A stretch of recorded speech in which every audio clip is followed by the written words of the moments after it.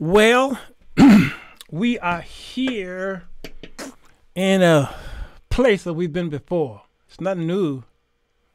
I don't. You don't have to be an economist to see where we are. We've been here before. Y'all don't remember? We've been here before. If you've been living under a rock, then you don't know what we're talking about. Recession, yeah, it's imminent.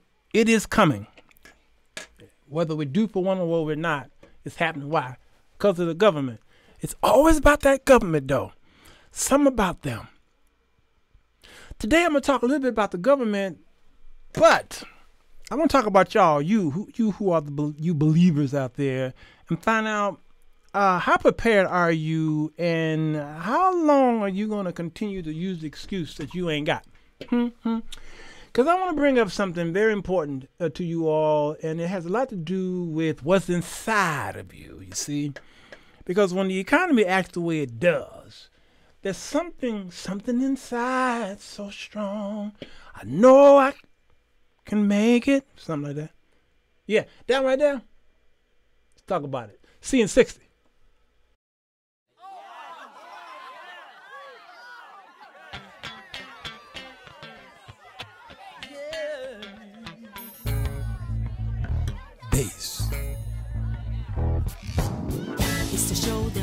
Get thinking, and where the topics are hot.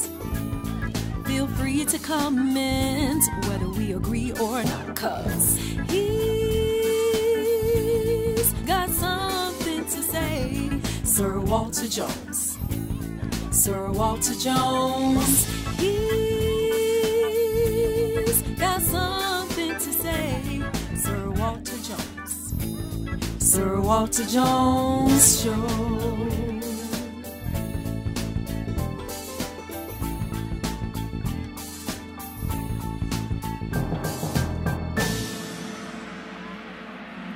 Come on in. The water's fine. Yeah.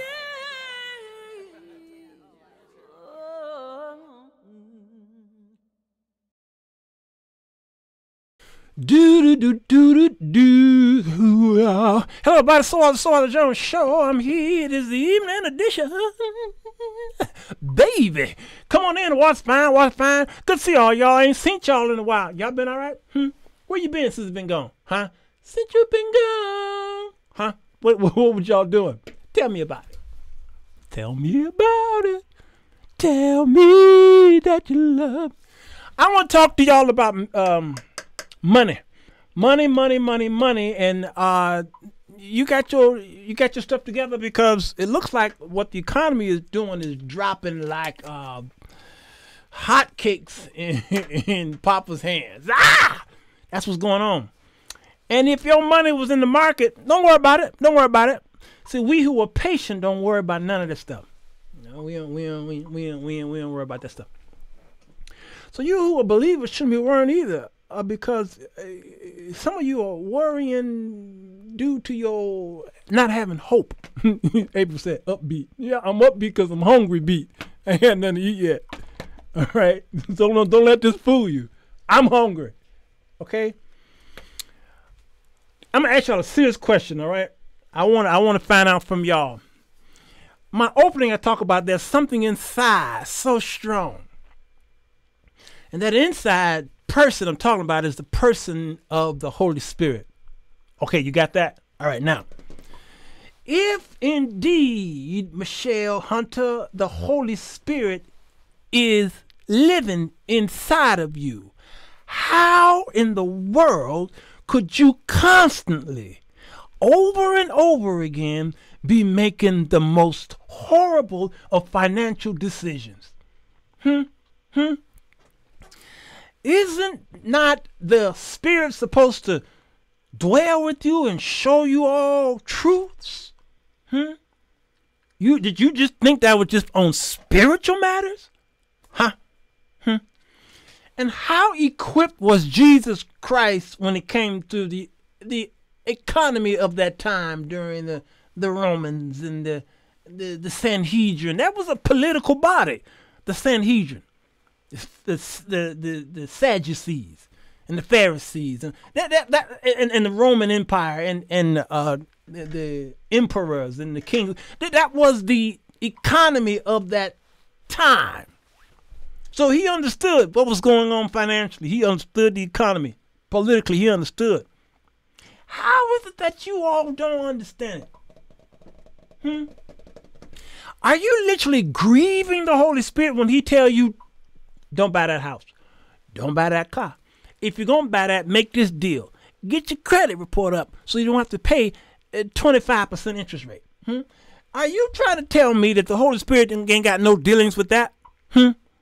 Why do you always call the Holy Spirit though whenever you got an issue though to solve all these other issues, but then you don't allow the Holy Spirit to tell you what to spend, what not to spend, how to save, how to invest. Jesus made the parables of the talents. And this parable, and we're reading the King James, I think it was, which which version? It talked about the market. He he gave the talents, that's monte, to the three. The two took that money, and the scripture says they invested it into the market. The stock market been around for ages of time.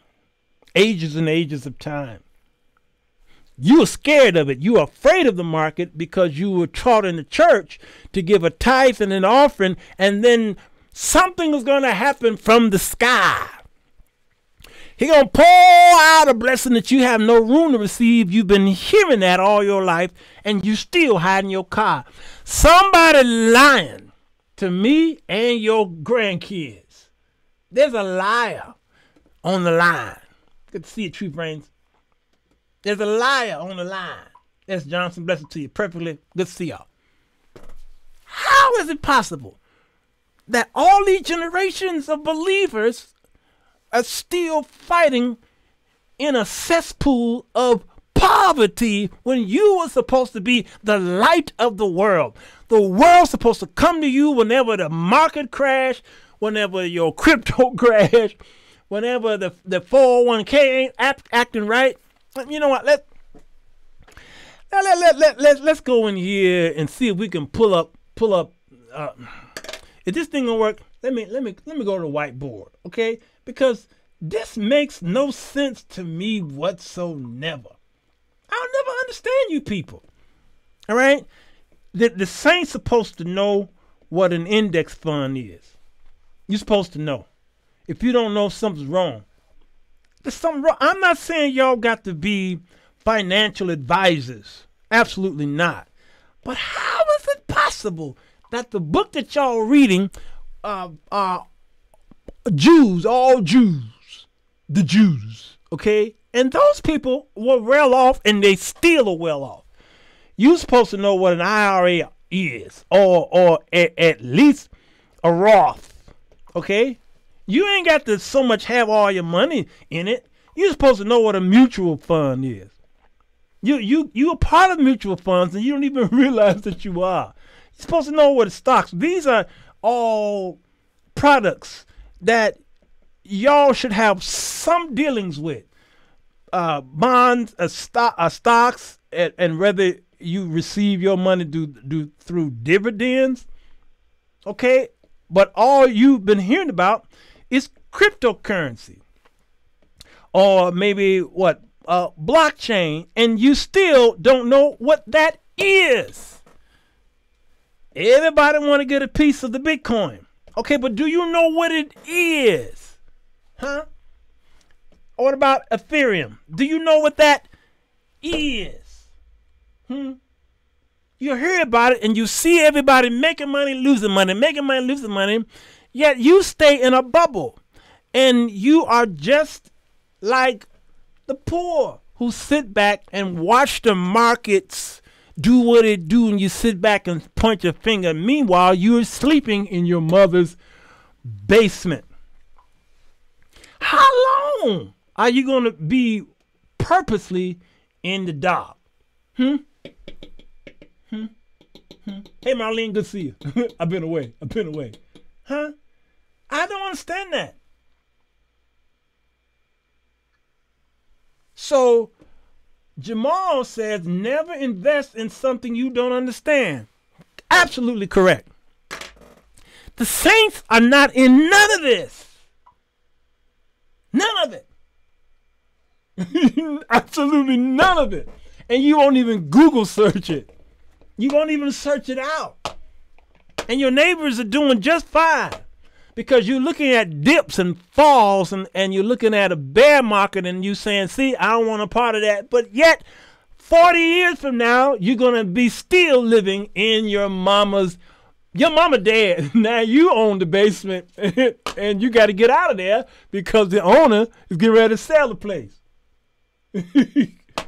excuses, excuses, excuses. I don't understand that. I love my Bitcoin. All right, this this Bitcoin. Now I did this on the show the other day. all right, and somebody was like, "Hey, brother Jones, how can I get one of them Bitcoins?" okay, and then I pulled out my Ethereum 2.0, and the folks were like, "Ooh, can we go to eBay and get us some Ethereum so we so we can?" That's Ethereum, by the way. How, how can I get the now? I'm gonna talk about gold in a minute. Eh, That that's gold right there. We'll talk about that in a minute. How can I get a Bitcoin and an Ethereum so that I can go to the bank and put these in the lockbox? And when they said that, I realized we got a bigger problem than I thought. we got a bigger problem than I thought. Go ahead and take that down to the bank, we please. They will laugh you to scorn. Just my people, you, you perish. Why you perish? Can you tell me? Can y'all put that in the comment section? Why you perish? So this show is how can Christians survive in a failing economy? Y'all, it is the government that's doing this to you, and you're sitting back and letting the government do it to you. I just don't understand. All right, so why are you broke? Okay, let's first of all figure out why you broke.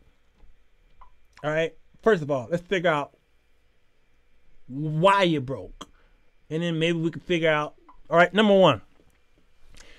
You broke because you are not making enough money on your job. You understand? So you may need to do something, uh, a side hustle. Okay? Some of y'all like, I can't do it. I'm not, I don't have enough time. Yeah, that is your number one excuse. I wanted a car. I went down there and bought me a car knowing I, I could barely afford it, but I took that car and I signed up for Uber and Lyft and DoorDash and I started to drive that car around town every day, all day long, picking up all kind of folks so that Uber could pay my car note until I got it to a place where I could manage it. Y'all understand what I'm saying? That was my side hustle. So I bought not an asset. The car's a liability because as soon as I drove it off the lot, it went beep down in value. But I I started to drive it and make a several hundred dollars uh, uh, uh, uh, over a couple days, and then take that money and took it and sent it back to the car company and paid that car down. I, t- I paid it down far. You got to know how to hustle. You got to know how to hustle. Yes, come on. You, you say you do DoorDash and Instacart. Come on, y'all. Don't be ashamed of the of the side hustle. That's how many people became rich and, and wealthy, what have you, because they went without. You understand? You can't get wealthy on your job. They went without. They suffered for years. They put stuff away. They did side hustles and put that away and invested that play money. You understand? paid off their debts with that side money. I don't think y'all understand that. But you, you're too proud. Ain't too proud to beg. Number two, you aren't saving enough. You don't even have a coin job. And when you get your money, you always pay yourself first. Always pay yourself first. You can't pay nothing else until you pay yourself first. You better hear me. I always pay myself first. Everything that comes into my presence, I peel off a little bit for Sir Walter D. Jones Sr. And that goes into my coffer's pocket, my account, my little thingy over there that I stash. Always. I'll always have, even when I tell y'all I'm broke. I'm broke in front of y'all, but I got a place. My mama taught me this one. Man, my mama, we my mama, my mama taught me well. Ma, I need no, we ain't got. Ma, ma, no, we ain't got. I ain't got it. No, I ain't got it. I ain't got it. but everything my father was was given to her for whatever, she put a little bit away for herself, and then she buy some diapers and some uh, some formula and and all kind of stuff for us, and and buy some shoes and socks for us and shit. But she, my mama always put a little bit away, put a little bit away. My mama, I, I, I ain't got it. We, we ain't got it. We we broke. We broke. We ain't got nothing. She was always stashed them away. And I didn't realize that she was putting stuff away until one day uh, a catastrophe happened. Well, daddy didn't even have anything.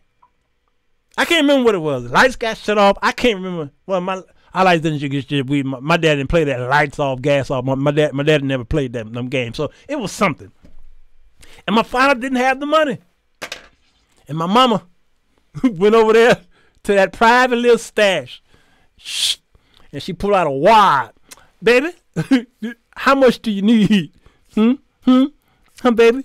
He, my father like, where that come from? Hey, don't worry about it. I got you, baby. I got you. I'm trying to tell y'all, this is a wise woman always put a little something down there in the breast department. The greatest bank account ever. All right? You ain't saving enough. Number three, you have too much liability. You got too much liability. Too much. You got you got cars, you got clothes, okay, you got jewelry, you got all kind of stuff. You don't need that stuff. Get you a nice 10-speed bicycle. You don't work that far. You don't need that new car. Take the bicycle to work, man, or take the bus. I'm trying to tell you, when I lived on the west side of Chicago, the white folks started moving into our neighborhoods, they wasn't driving cars. They was walking, taking buses, and, and every now and then an Uber what have you. And they was, you know, because they they was putting that money away. And now I look at them, and they are doing so well off. They can go to any car lot right now, any minute. It doesn't matter if the car the cars cost this much now. It doesn't matter if the gas costs this much now. That, that doesn't matter. For years they was putting that money away, putting that money away, and walking everywhere. But you all got to get in your car and drive two blocks to go to the store to get some gum. Makes no sense. It makes no sense. You in the mentality of poverty. Number four reason why you are broke, you have too much house. You got too much house. You are house poor. You are upside down. You didn't need the house. Did you not learn a lesson from 2008? You didn't learn no lesson. You wanted it. You making more on your job right now, so you was able to have a down payment on the house, okay, no problem. And you just barely got by because your credit report was around what five ninety nine. Okay, okay. But they let's say okay, you can have the house, knowing good and well you could barely make the the payments every month, and you forgot that you got to pay for the extra stuff the garbage pickup and and then the taxes come around. If you to put the taxes in your mortgage, the taxes come around, and then tax time come, you doing a GoFundMe for your for your tax. You got too much house, and it's only you and your dog Harold. It's your dog Harold. Too much house for what? I just don't understand you people. What'd you say? I bought a house that uh, I could pay for without my wife. All right, Alfred, come on, Alfred. All right, and number five, the reason why you broke is because of FOMO. Can somebody tell me FOMO? You FOMOs tell me what that is? Hmm, hmm. This one of the biggest problems with African Americans. You got to have the latest fad. You always feel like you are missing out on something. Always. You're missing out. So you go and buy the latest iPhone for twelve hundred dollars because you want to be hip like everybody else. You are ridiculous, and you gonna miss out. All right, you gonna miss out. Trust me. All right.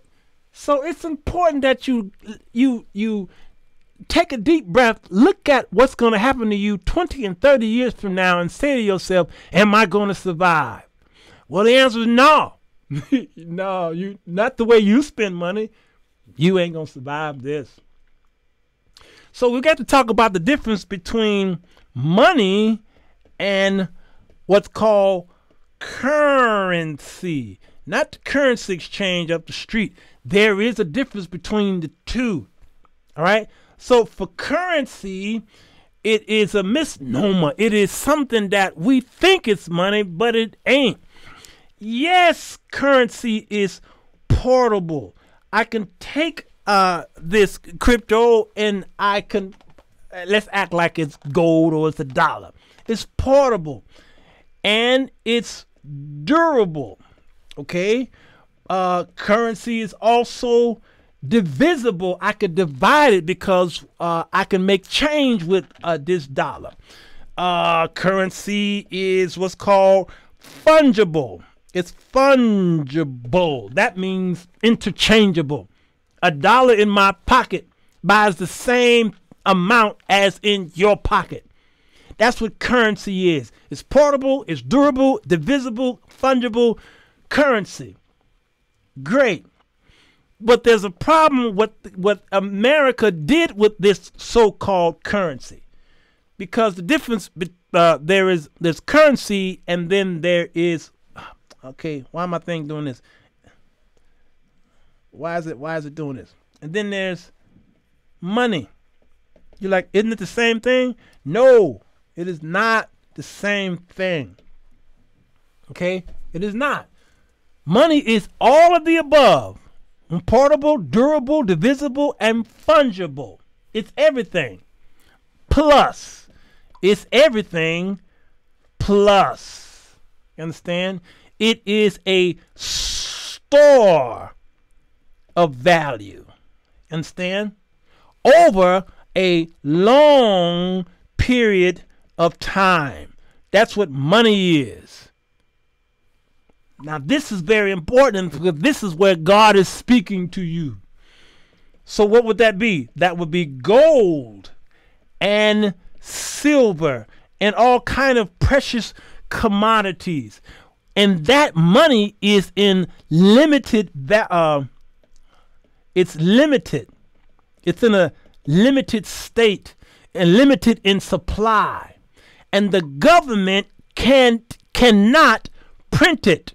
It is unprintable, okay? Gold and silver. The government don't like gold because there's a restraint on it. And they can't really do anything with it because they can't produce it. They can't put it in that fiat machine and and you know turn it out. But this is God's money. Here. This is God's money. He even brought it up in Genesis chapter 2 and 11. He talked about the rivers that's going through Eden. And he says, and gold is there. he brought it up in Genesis chapter 13 and 2 with Abram was rich in cattle and what? Gold. This is God's invention right here. This is man's invention right here. Fiat. Fiat. And what they do is they debase the fiat. It's magical. It's magically delicious. Prior to 1965, U.S. dimes uh, coinage contained 90% silver. Did y'all not know that? At one time, money, a dime, a dime, y'all, contained 90% silver. That's a current melt value of $2 and 10 cents today. That's a lot. That's real money. President Lyndon Baines Johnson said that silver is is uh, much too valuable to be money. So they started printing these these substitutes which were then it became 91% copper. Copper base, y'all. Copper base. And about 8% nickel. Y'all know what nickel is, right? Nickel base. So to today's coin has a current melt value not of $2.10. Today's coin now is worth 0.02 cents.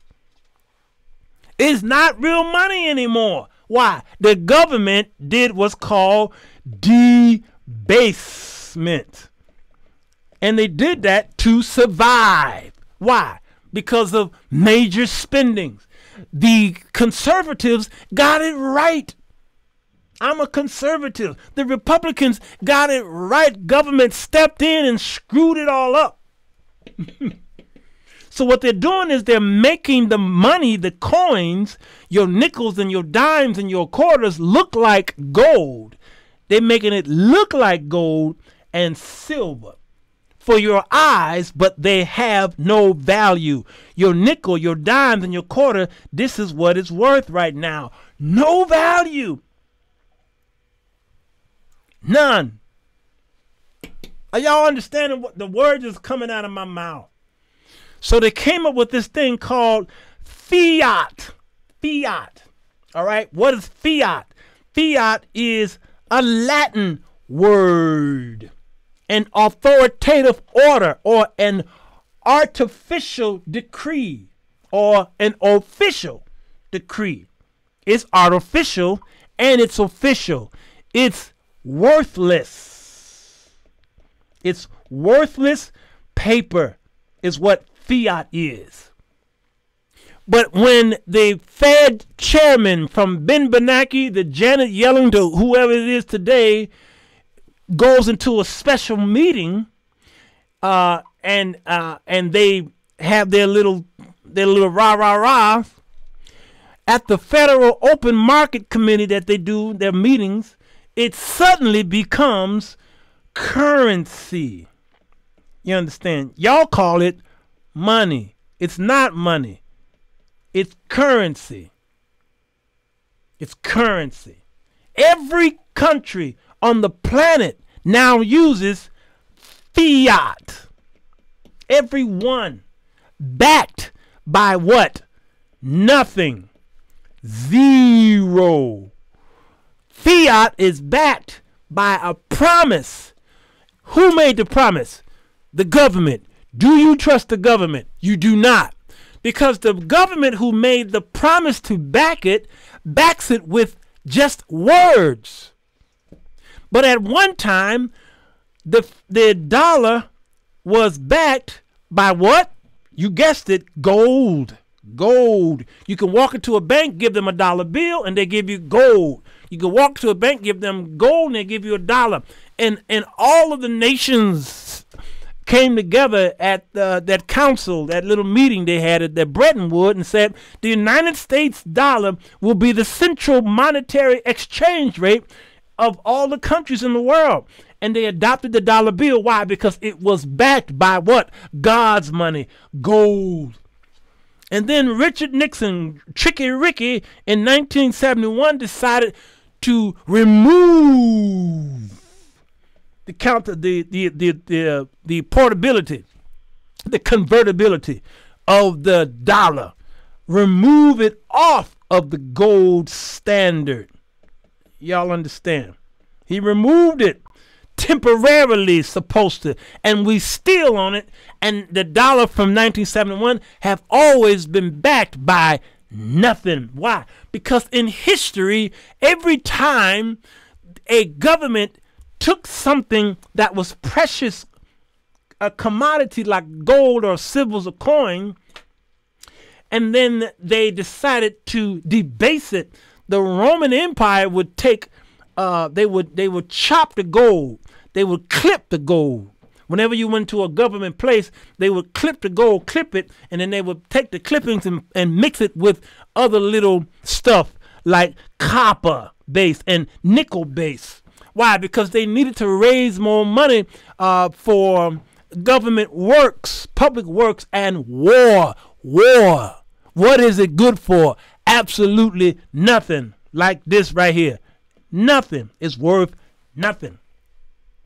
All right, so they, they did a debasement on the coins, which jacked up uh, the in- inflation and then came hyperinflation. We are the new Roman Empire. The United States is the new Roman Empire. We've been going down that road a long time. I'm trying to help y'all out here. Y'all don't want to listen to me. So, whatever happened to free market?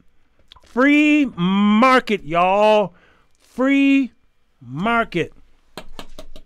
Mm. Uh, laissez-faire, I think the word is. What is free market? An an um an economic system is what free market is, in which prices are determined by unrestricted competition. Unrestricted competition between privately owned businesses. I should not be restricted. I should be able to charge a reasonable price for my products and services without the government intervention. That is what's called free market. The free market is an economic system based on supply and demand with little or gov- uh, or no government control. Capitalism, free market capitalism. It is a summary this description of of all voluntary exchanges that take place in a given economic environment. Free market. That's what we was we built our government on free market. That's what we did. So what happened? In walked the history of Rome and Rome versus America, we have the same history, y'all. As soon as I learn how to do this, we have the same history. Rome started as a republic. They started as a republic because they overthrew they overthrew a what? They overthrew a monarchy. Rome. Does that sound familiar? Yes, it does. It sounds so familiar. What is a republic? I'm gonna get back to this, okay? Because I got a number two and I got a number three. All right, put it, put it, put it line right there. All right, sorry y'all. I, I, I got rid of the line. Come on back. All right. Rome started as a republic. All right. And so did we. Now, y'all say we are democracy. Okay. We are a democracy. But are we? We are not a democracy. All right. Democracy, the rule, that is the rule of the, uh, that, that simply means the majority rule. That's what democracy is. All right.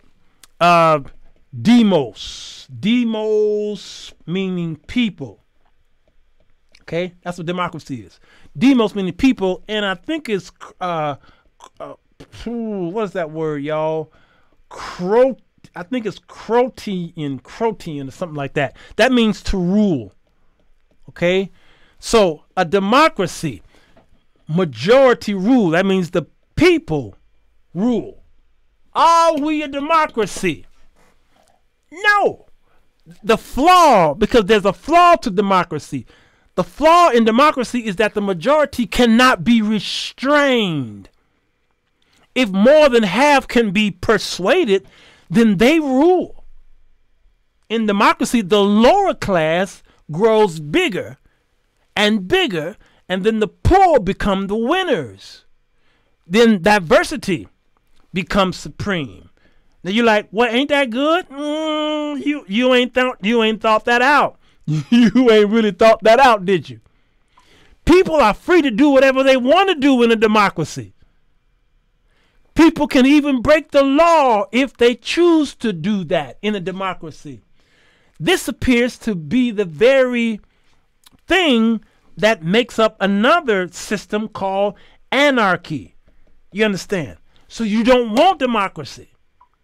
And the word democracy do not appear in the Declaration of Independence of the Constitution. The founders did everything they could to keep democracy out of the paper. So, what is democracy? Democracy means that the mob can rule if they come together. Then comes anarchy. And then after that comes tyranny. I don't think y'all get that. And that tyranny happens under what we have right now, which is called an oligarchy. That's what America is an oligarchy. This whole system took place over time where in Rome, Rome was a republic to the republic for which it stands. Okay, well, what's republic? I'm glad you asked. A republic is a Latin word which means it's res, meaning thing, and publica, meaning obviously public, okay? Or it's the law. The law. The government is limited by the law, which levels, or what it does is the law leaves the people what? It leaves the people alone. Separation of church and state. Leave them alone. The, the Romans built the republic. Rome became wealthy, but the people forgot the essentials of freedom. They forget that the, the essence of freedom is the proper limitations of government allow them to be free. But when government keeps getting bigger and bigger, bigger, the freedom of the people recedes. So y'all saying we are part of a republic in in, the, in, in America? Ah, I don't know about all of that. Once the government creates subsidies and give y'all aids not, you know what AIDS I'm talking about. The government is giving y'all aid and subsidies and stimulus checks and bailouts. The people begin to do what? They begin to rely on the government you are now sucking the breasts of the government because they are giving you all of these things. Then you become entitled to it. The Republicans, if anything, they got this right. You become relying on the government for more and more and more. Therefore, the people traded their freedom for their security. So, what happened with Rome? Rome fell because they went from a republic to a democracy and ended up in anarchy, tyranny, and then oligarchy under the progression of who? You got it. His name was Caesar and they rendered unto Caesar what was Caesar's. And when Trump was in office, we was on our way to Caesar. Because they said Obama was that too. And they used Hitler's name as well. Are y'all getting any of this? I'm giving y'all a history lesson on econ- economics so you can understand how this, this stuff work. So Rome, like America, was a republic. To the republic for which it stands, one nation under God. So what did Rome do? Rome debased its money. Like I told y'all, they debased its currency, not money. Then what happened? They did it through deficit, deficit spending. For what? War. What is it good for? Absolutely nothing. And what happened? It caused inflation. Do y'all know what the war, the, the defense budget is for America? Somebody Google the defense budget for America and you'll see where we're headed, y'all. So, what did America do? America, she then debased her money as well. But how did she debase her money? Here's how she debased her money. When you go to the store right now, you buy you buy a bag of tater chips. If you bought that bought that bag of tater chips in 1970, Jay's or Lay's or whoever, you bought a bag of tater chips for 25 cents and that bag was bulging. It was bulging, that is. The bag was bulging for 25 cents. And then the, the tater chip company decided, okay, let's we're putting too many chips in there. So let's cut the costs. We're gonna not change the ingredients, we'll give them the chips, but we gotta pull them chips out of there. So now when you go to the store, the cookie bag, the chip bag, uh, the fruit bag, uh, the the flour and the oatmeal uh, and the sugar all now come in smaller contents. Why? What is that called? That's called debasing. Debasement. Mm. Y'all with me? Y'all better hear me. Y'all better hear me. I'm trying to teach y'all how this works. you, you, yo, they don't teach you this in high school and grammar school and in college unless you in college for uh, an economic class. Okay? All right. Now, where am I? Where am I? So, what's happening now is uh let's bring her up. Let's see. Pelosi is proposing a bill allowing president the president to make gasoline price hikes illegal. Gas right now is $5 in Chicago, it's $6 in California. It's high, y'all, high. So what's she doing? She's saying, put a cap on it. Put a cap on it. Okay, that sounds like a great idea, y'all. It sounds like a wonderful idea, actually. But there's a problem with putting a cap on that. It has everything to do what I just wrote up here. What was it? It has everything to do with the problem with free market. Free market. Because Rome imploded for trying to fix the same problem that we're having today, messing with the free market. You're like, but Ella Jones, the price is too high, they're price gouging. Okay, that may seem like the case, but here's the problem with the oil situation. You all are saying that they are price, how you spell that? I think it's called gouging. Okay, but you don't understand. The government are, you all are, are putting people in office who have no economic history of, of education, nowhere. No history of, of economy of eh, the those in the Republican, not Republican, but those in Congress on the Senate, the senator side and the House of Representatives side. None of these people went to school for economics.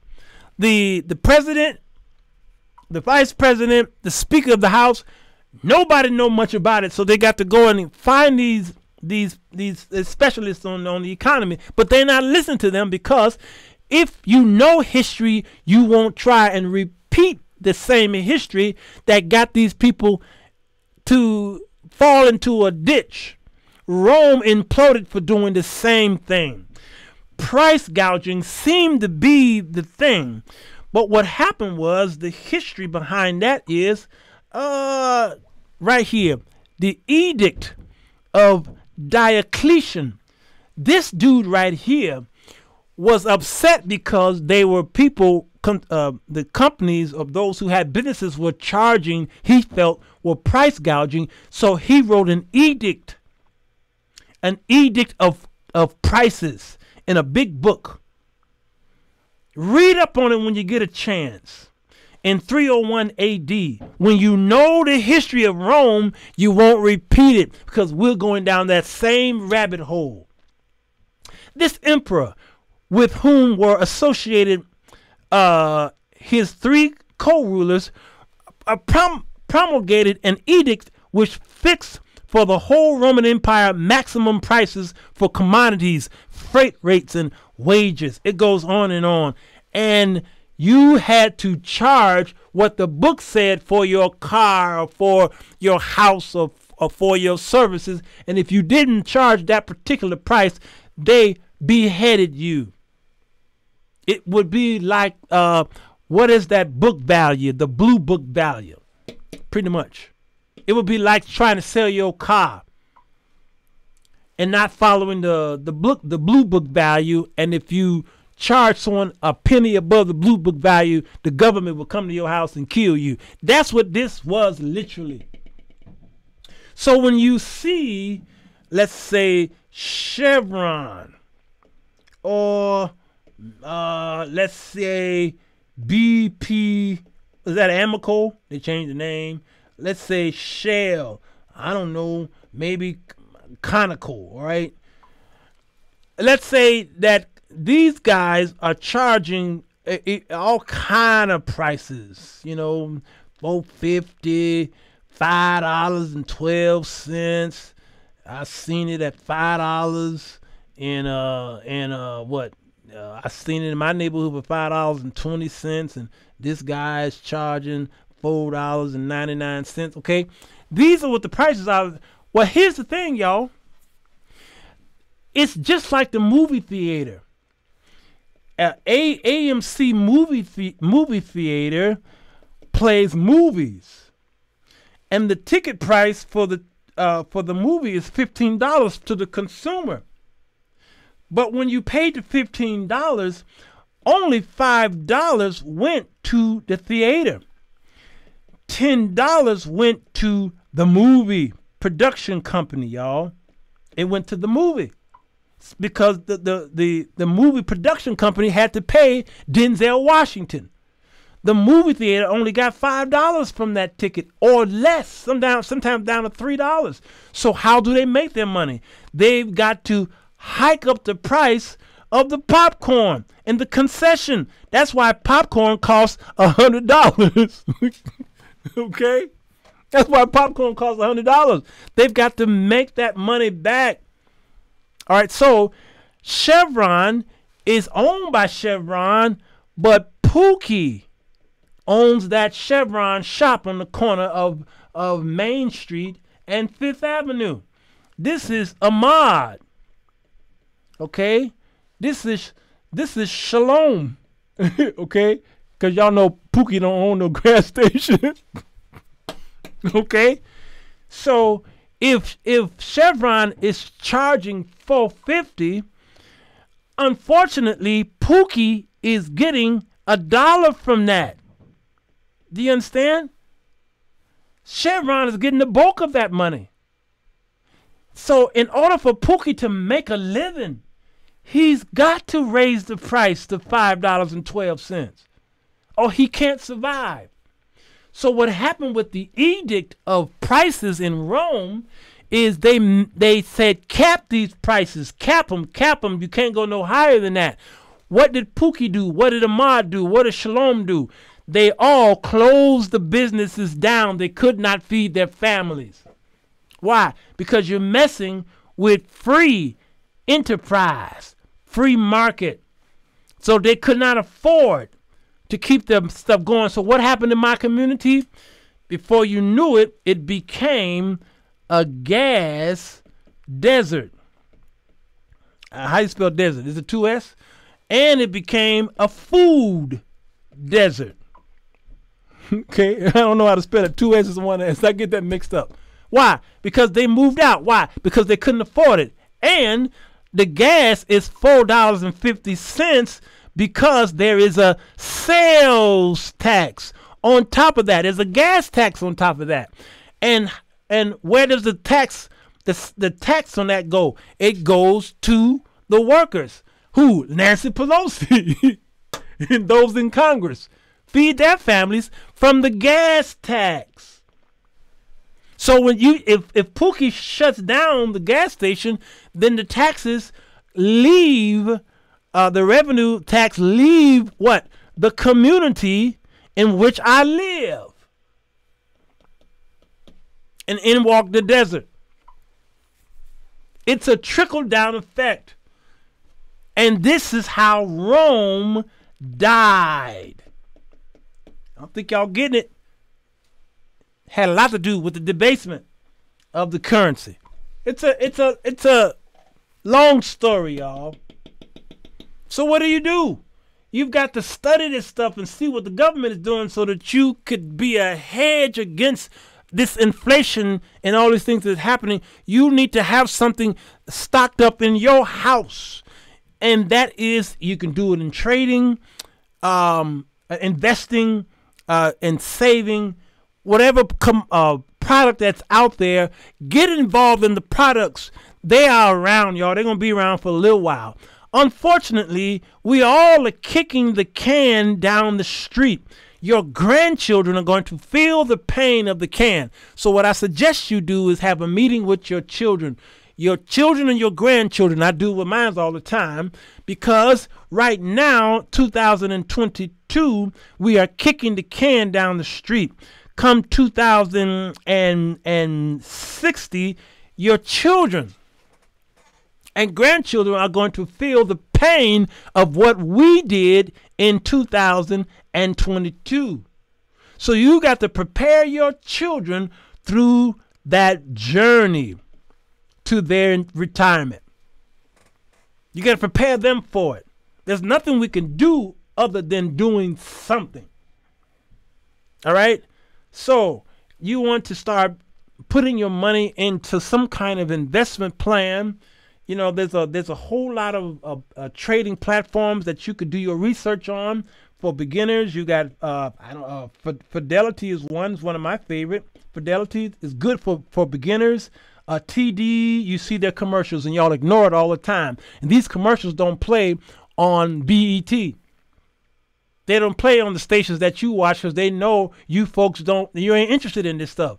Popeyes play on those stations and McDonald's and Burger King and and maybe iPhone and stuff like that. But Fidelity don't run commercials on on these stations that y'all watch. TD Ameritrade and uh, E Trade. Okay, get involved in these things. I would say Merrill Lynch, uh, Merrill, or they call it Merrill Edge for beginners. Okay, you would hear about Webull. Okay, Webull. Uh, I think this is one of the best investor. Uh, uh, I like Webull because of their, their community. All right, Webull have a wonderful community. Start investing, but finding out which one of these you can use. Okay, there are uh, your your personal advisors. Okay, even though you may not even talk to anybody, digitally get involved. I personally personally like uh, Vanguard. Okay, Vanguard and Fidelity for more advanced. All right. And then what do you do with that? Start looking into what they call ETFs. Okay. ETFs or index funds. All right. Index funds. Get involved. This is the safest route right now. I'm not telling y'all to buy Bitcoin right now. You best believe Bitcoin Bitcoin gonna be the way.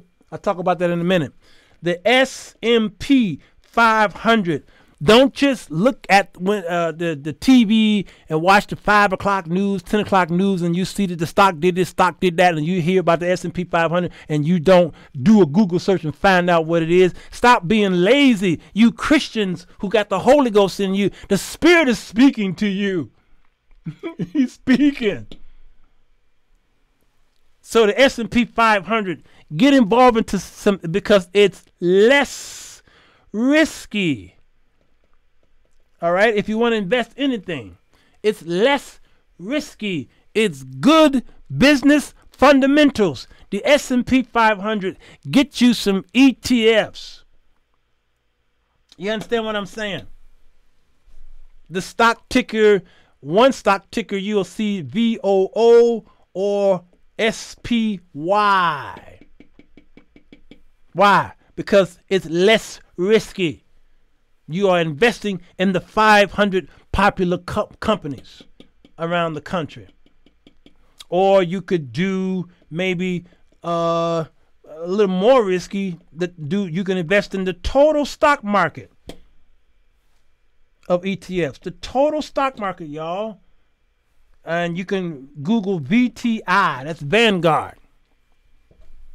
That's 4,000 companies that you can have an ownership in. Just do it. Don't wait till you got 10,000, 20,000, 50,000. Put some money in it and get your get uh, used to uh, pulling the lever, okay? But one thing you cannot do, you cannot predict the market. You cannot time the market. Sometimes you got to turn the TV off. Put the money in there and leave it like you do a cake. Put it in there and leave it until you hear the alarm go off. Ding! And it's ready. Leave it.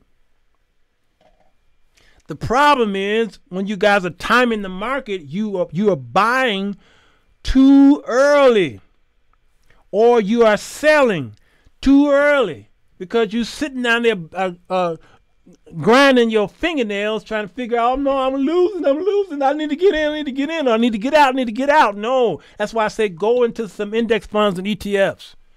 Do what's called a dollar average, a, a, do a dollar cost average so that you won't be losing so much. Pick a schedule. I put money in once a week, dollar cost average, and I tell I tell tell Vanguard to do it for me. Just put it in there. I don't care what the market is doing. It's it's all right. If it dips, fine. But it's going to what goes down gonna come up when it comes to the S and P 500. One may lose, and this company may lose and go bankrupt. That's fine. I got 495 more companies that I own. Buy the whole bushel. Don't just buy one leaf. Mm-hmm. Invest pot, uh, passively. All right, invest passively, and I would say uh, M1 Finance is a great start. All right, Google that, we please. Mm-hmm. Google that. All right. So again, gold may be doing some funny stuff right now, but everybody, eventually, before the world end, will have to go back to gold. They have to go back to gold. So you may not have physical gold, but you can get uh, paper paper assets. All right, you can Google this right here. I A U it tracks the gold spot price. So if you may not be, have physical gold in your in your presence, but at least get some paper asset. Do something. Don't just sit there and worry, be a worry bot. Mm-hmm. Gold is still valuable. Why? The longer something's been around like gold, the longer it will be around because scarcity. It's all about scarcity limited supply, and it's trustworthy. Gold, you can trust it. You can trust it. Now, value is subjective. Something is only worth what somebody is willing to pay for it. Y'all write that down if you can. I know it was long something is only worth what somebody is willing to pay for it. In walk NFTs is worth what somebody is willing to pay. And that could be at a short period of time hmm. J.P. Morgan said, he said, gold is money and everything else is credit. Gold is money, but everything else is credit. He said that in 1912, J.P. Morgan. Fiat is only credit. All right, it's only credit. And it used to be against gold. It used to lean against gold. Mm-hmm. But now, believe it or not, Bitcoin, I can't spell. Bitcoin is now as good as gold.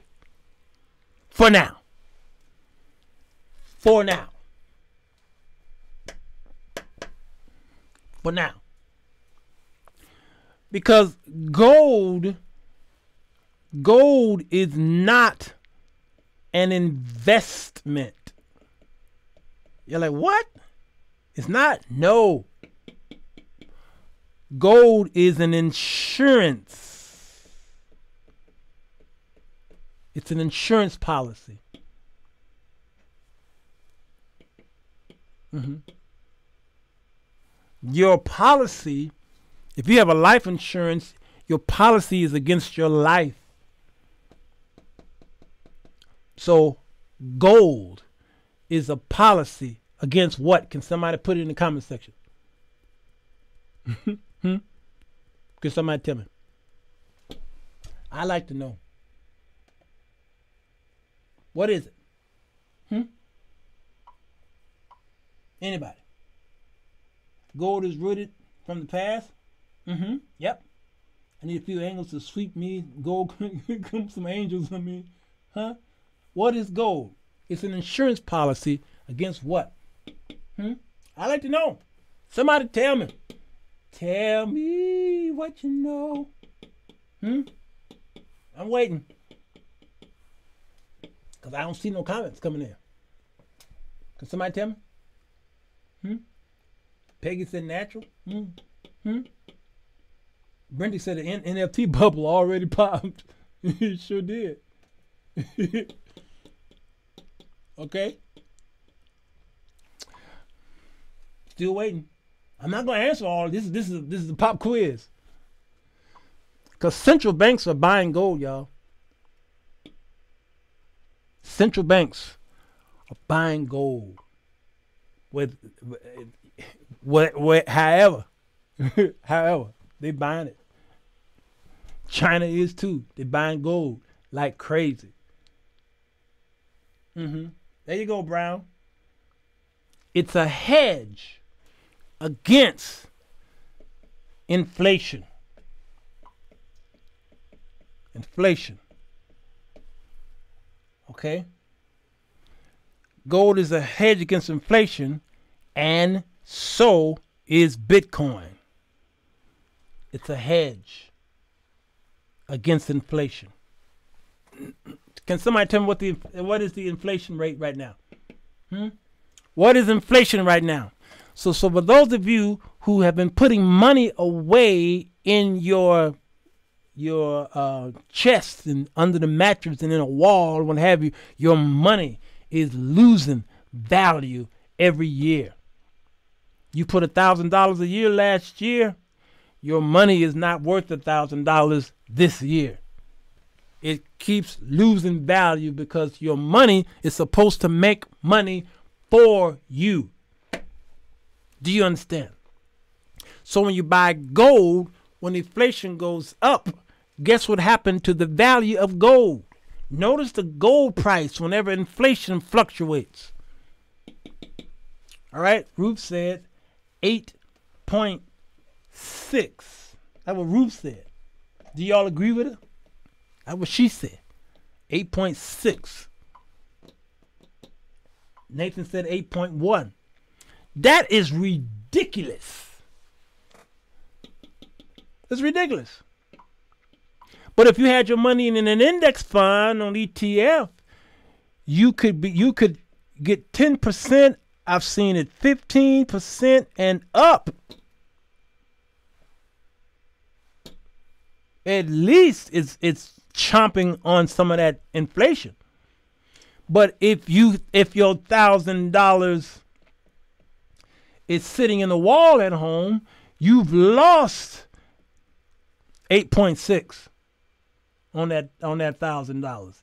At least in uh, in the market, you could go up fifteen percent. A thousand dollars times fifteen percent minus the eight uh, point six percent uh, inflationary rate. You could do pretty good.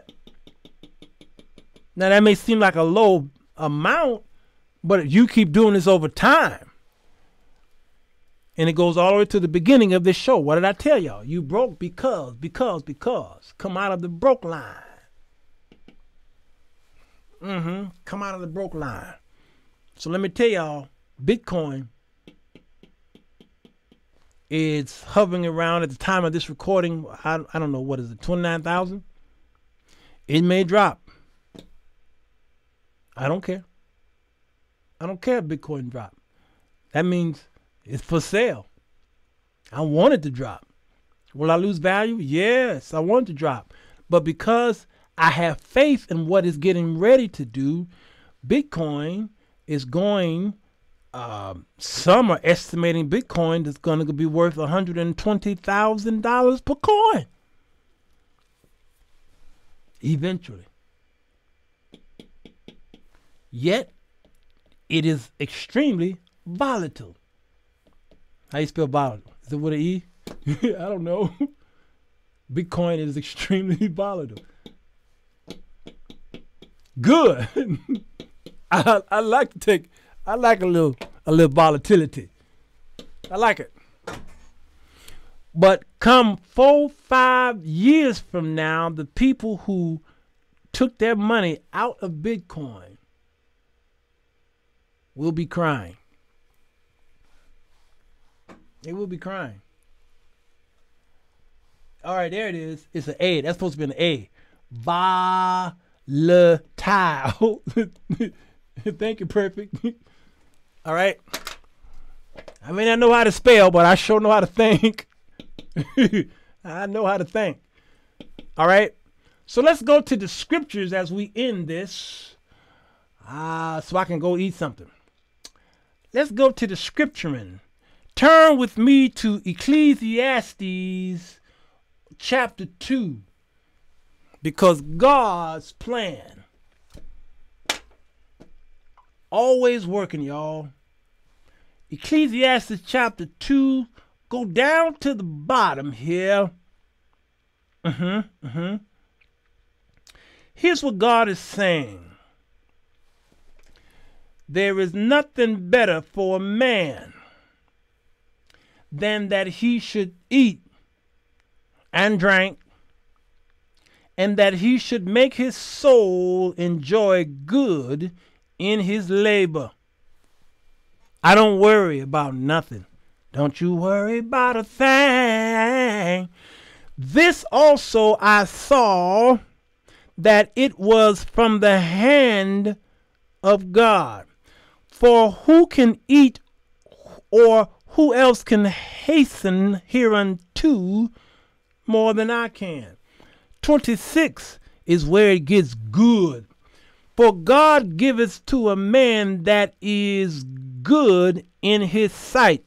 What does God give to man? He give to man wisdom and knowledge and joy. Contrast. But to the sinner, he giveth, look what he does to the sinner. He gives travail. He gives travail also to gather and to heap up, that he may give to him that is good before God. This also is vanity and vexation of spirit. Wait a minute. God is saying that he is giving to those of you who listen to the Holy Spirit, those of you who are part of this kingdom of God. He says that He's going to give you wisdom and knowledge and joy and show you how to manage your money. You understand? And you are going to then reap the benefit of the sinner's spoil. The sinner's spoil because the wealth of the wicked then is what? Stored up for who? That good man, for the just. And this man got to give his stuff over to you. Travail, gather, and heap up. I don't think y'all getting any of this. Y'all ain't understanding this. Let's see if we can find it in another version. All right, let's find it in the NLT. Here's what NLT say. He say, God gives wisdom, knowledge, and joy to those who please him. But if a sinner becomes wealthy, God takes the wealth away and gives it to those who please him. What? Lord have mercy. That is just crazy. It's crazy that God would do such a thing. Because he's already given you the wisdom and the knowledge on what to do with your money. Lord have mercy. So I was looking at this thing. I typed in on Google seven reasons why Christians are broke. All right. And uh did I I think I typed yeah, yeah I did because I remember seeing something like that. And I'm looking at these these things and most of them are saying the same ridiculous thing. I looked at who? Charisma magazine. All right, look what Charisma magazine say. I think I saved it. Charisma magazine say right here. They say the Bible says we are to witness, to be witnesses in all the earth. Right. I agree with a lot of things that they said here. Okay, a lot of things that they said here. Poverty, complacency. All right, the spirit of poverty has elements that a person does not need a spiritual gift to detect. For example, in in in the neighborhoods uh, where I grew up, it is common to live with roaches. Oh, he goes on and on. I get it. I agree. Some of y'all got a spirit of poverty on you. You just can't come out of this. Uh, out of it. You just can't come out of it.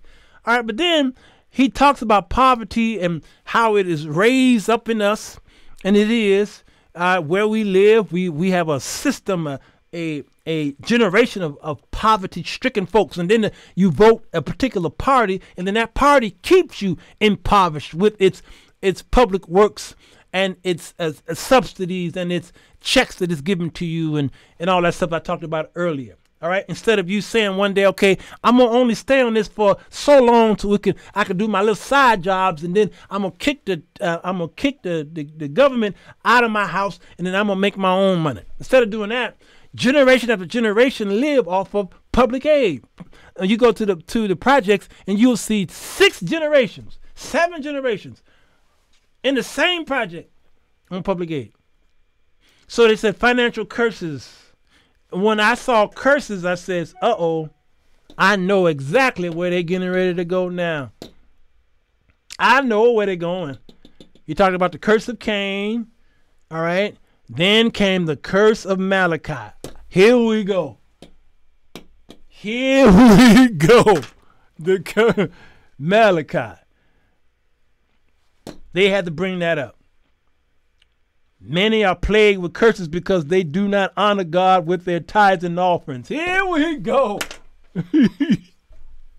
Here we go. and the problem, the, the problem with this is that it's you tithe payers that are crying, I got nothing. I just I just can't understand it. I went all up and down Google and every one of these websites brought up the whole tithing fiasco. And I keep saying, but these tithe payers are the ones who are borrowing. They're the ones. I'll never understand this world to save my life. How can you be so intelligent? hmm Um, how can you be so intelligent.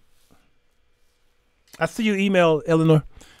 Okay, somebody sent something to my church, and I haven't been to the church yet, so I'll get it when I get to church. Not this week, but next week, because I'm I'm in I'm in Connecticut this coming weekend. Um, how could you be so intelligent, have all these degrees, and the school of hard knocks and all these things, and still be pulled into the lie of being cursed but not giving God his money? when all around you people are thriving and these are saved, sanctified folks. Holy Ghost filled, fire baptized, and that with a matter burning fire. All that stuff. I can't understand it to save my life. And then you people go to these churches, go to these conventions, and you listen to a foolish man like this. God gonna send you a financial Boaz.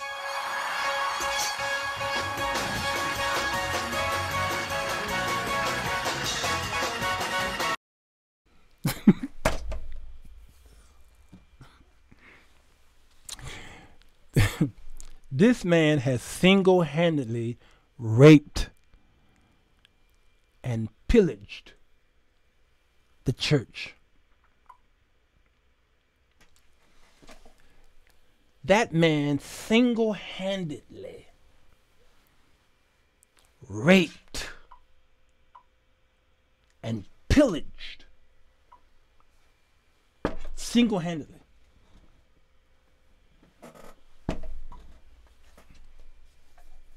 And y'all fell for it. He said God gonna hold on. God gonna send you a financial Boaz.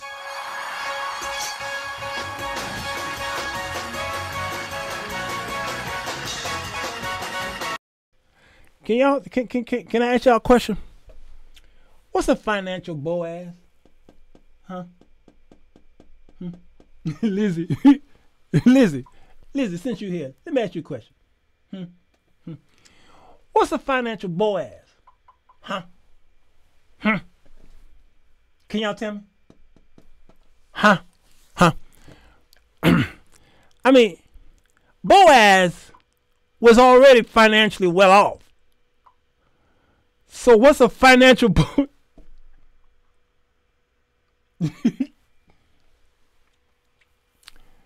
That's like saying God's gonna send you a rich Warren Buffett.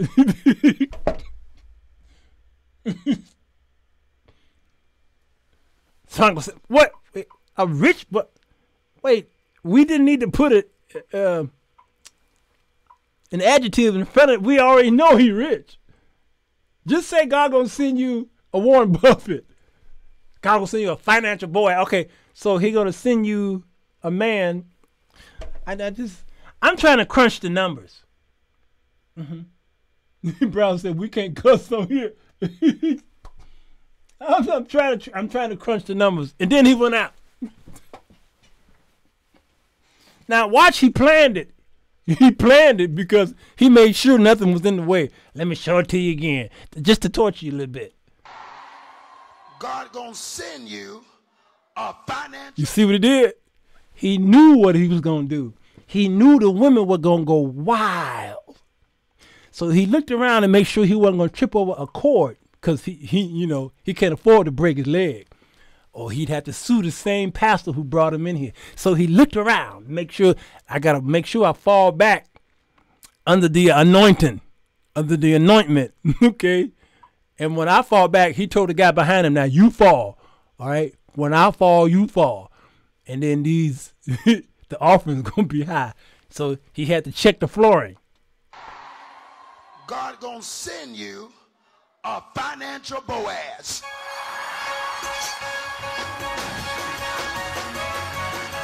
he, he he had a tight suit on and he didn't want to tear. He didn't want to rip it in his groin area. So he knew to go back and look around again. He said, "Wait, oh, I think I forgot something. Hold on." So he went back real slow like uh, what's that movie? like the Matrix. He went back slow like the Matrix. He checked the ground. Now God, hold on. God gonna God gonna give y'all.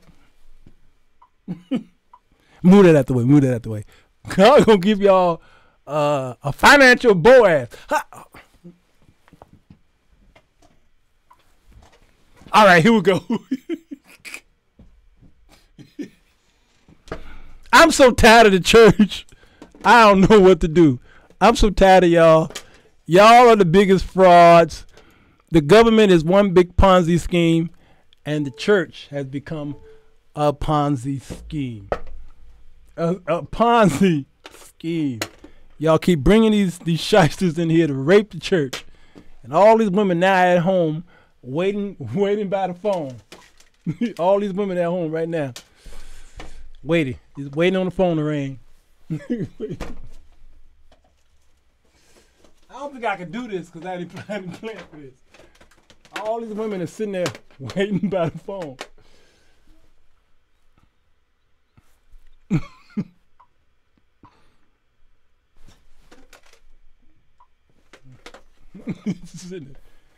Now, Lord, now, Lord, the prophet said Boaz is coming in my life. I'm gonna just sit here and wait all of my appointed time. Without, I thought I heard a ring, Lord. I, I could have sworn I heard a ring.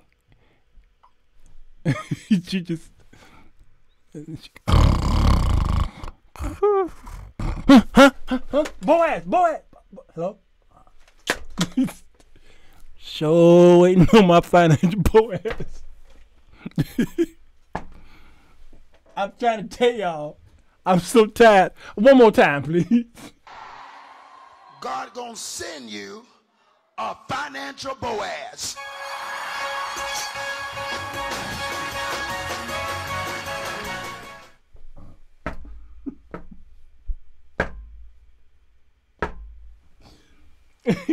I don't know what it means. I'm trying to. Somebody Google it for me. There's got to be a financial go Boaz out there in Google land. Could somebody please help me? I don't know what that is. Ah. okay, y'all. I'm done. Those of you who've been giving in the super chat, thank you. I see you, Brown, Brown girl, and those, and those of you who've been giving uh, in the uh, cash app, thank you so much. And those of you who've been giving for the single uh, women's fund that always continues and never stops, thank you. Uh, that all that money goes to them. All right. Thank y'all so much. I gave y'all a free financial class today, free of charge. So if you want to bless the Sir Walter Jones show, there it is right there. But you know, you don't have to. you don't have to. I will do this regardless. Hoping that you got something, took some notes. Rewind the show. If you're on YouTube, go ahead and share it with your friend, your family and friends. We please share the show. Hit the subscribe button. All right, it's about 150 of y'all right now over there. If you hit the thumbs up, about another 100 of you, if you hit the thumbs up on YouTube, we'll be able to, uh, YouTube will spread this uh, gospel out a little bit further. There's a whole lot of uh, financial shows out there. It's a whole bunch of them.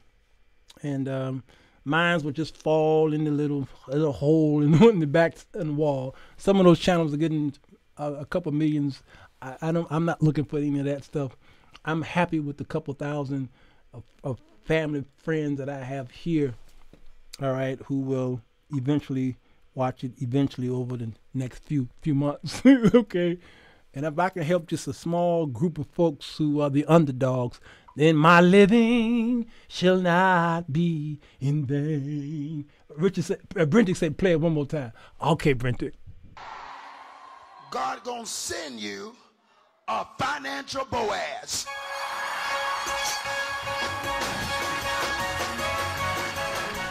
I missed the guy in the choir. Hold on. There's a guy in the choir with the white shirt on. Wait. God gonna send you a financial Boaz.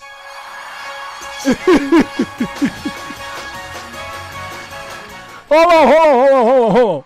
God gonna send you a financial Boaz.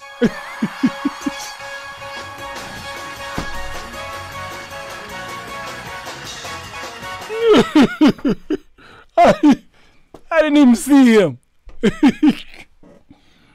oh man. The whole choir, the whole tenor section was woo! All right, y'all. I love y'all. Ain't nothing you can do about it. Give my regards to Brian song Carnality. God, I thank you for your presence. I thank you for these people who are here. I hope they receive something that came out of this here office that they can use so they can invest into their homes and their families and their children and their posterity so that they could be prepared for any kind of dip. Whatever the economy is doing, we, we don't worry as those who have no hope. Thank you for giving us wisdom and knowledge and joy, oh God, that you said that you would give us so that um, our our bags are filled, our bank accounts becoming overflowing, our homes and everything. We we don't have a need for much because you've given us the wisdom and we listen to the spirit that told us what to do with our monies. We're not just sitting up in church and letting somebody tell us what to put in the bag, but you absolutely teaching us and showing us what to do and how to manage and how to invest. And in return, you said that the sinner man don't even know why he doing it, but he's writing us checks and giving us monies and don't even know why he's doing it. God, I thank you for your word. It's sound, and I'm going to hold on to it for the rest of my life. Bless these people who are watching today so they can take it with them and be a blessing to their homes. I'm asking that you be a blessing and a healing agent for Brentick L. Richardson II and his beloved wife as their child go through these procedures. Heal that child. Brentick is my dear brother. He's my little brother in whom I love. Now that he he's married, now I love her and I love their child. So they're my family. So I'm asking that you heal that child. Work in that room. The surgeon's hands, the nurses, that whole staff visit that room and be amongst them. And let your spirit hover and stay in that atmosphere as the surgeons and the doctors and the nurses guide and know what to do so that we could hear the testimony and the praise report from the Richardson family on how God did it. Only you can do it. We ask this in your son Jesus' name. Thank God. Amen and amen. All right, y'all. Take care of yourselves and one another. I'll see y'all tomorrow. Before I get out of here, tomorrow is Theology Thursday. We'll talk about something tomorrow to upset the folks. And then uh, I'm back in the sky. I'll be speaking at. Uh, What's the name of the church? Uh, Walter Oliver, Bishop Walter Oliver. I'll be preaching for him Sunday morning in New Haven, Connecticut, and then I will be speaking at Yale University for Dr. Comer. he is a professor there. Dr. James P. Comer wrote this book, and they are in, and they will be unveiling a portrait of him, and I will be doing the closing remarks and and whatever else they need me to do. All right. And so, what a blessing. Ebenezer, thank, thank you. Vera is a faithful member there, Ebenezer Chapel. And uh, get a chance to see Vera, get a chance to eat her food. All right. And we will be back uh, in the middle of the week, back to our regular scheduled program. Okay. I love y'all. Take care of yourselves and one another. if you emailed me, I'll be looking at that tonight, as I always do, and uh, see what I can do to assist you in whatever else you need. Y'all know I love the bunkers. The bunkers keep me alive. Y'all put bacon on my table, and you uh, help me to keep the heat on or the air conditioning on so baby girl can either be cool or warm. and so that my baby Amir can be fed as well. you all make it possible. You who are the bunkers. I'll never take it for granted. Thank y'all for being such a lover of the Lord and his work. Take care of yourselves and one another. One more time. God gonna send you a financial Boaz.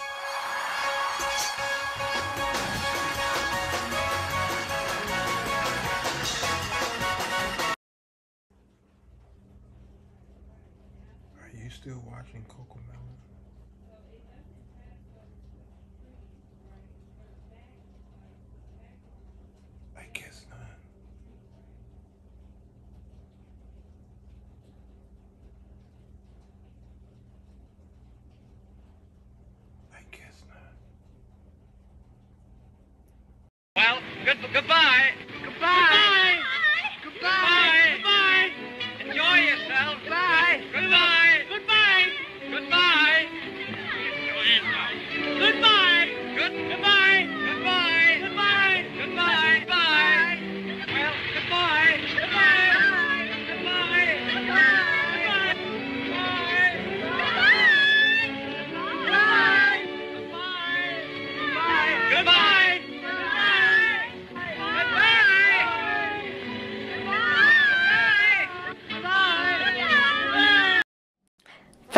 Does it seem like you can't get a good woman?